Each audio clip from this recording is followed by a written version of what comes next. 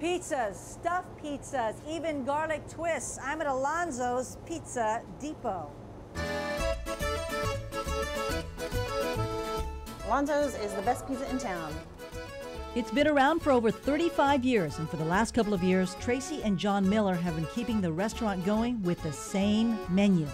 We've added a couple of different kinds of pizzas that either our, um, our employees have created or our, um, our customers have created. I love the pizza here. The whistle stop's good. We get, what do we get? Pepperoni with double sauce because he makes his homemade sauce. And the seasoned tomatoes, those are the bomb. Love this place. Let's get to the pizza. The most popular is the Whistle Stop. It's a stuffed pizza with a lot of cheese. What we have is about 32 ounces of cheese. So when this pizza's done, it's going to weigh That's about three half. or four pounds. Uh, it's enough to feed probably eight people, depending on how big a eater you are.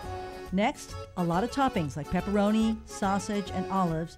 Then John puts a top on it and bakes it for nine minutes. But wait, there's more. After the first bake, he adds the sauce and more toppings.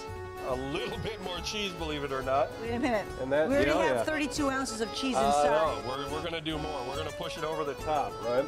You're crazy. to. I know. That's what, I, that's what people like about me.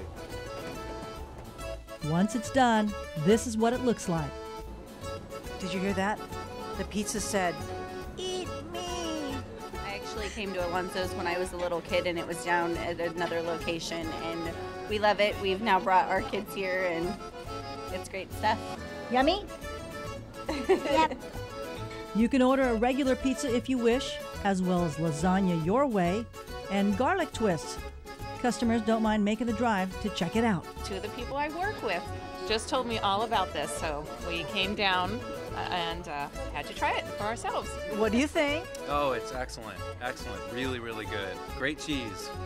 That is a lot of garlic. Alonzo's Pizza Depot in Citrus Heights is open every day for dinner and lunch now, Friday, Saturday, and Sunday.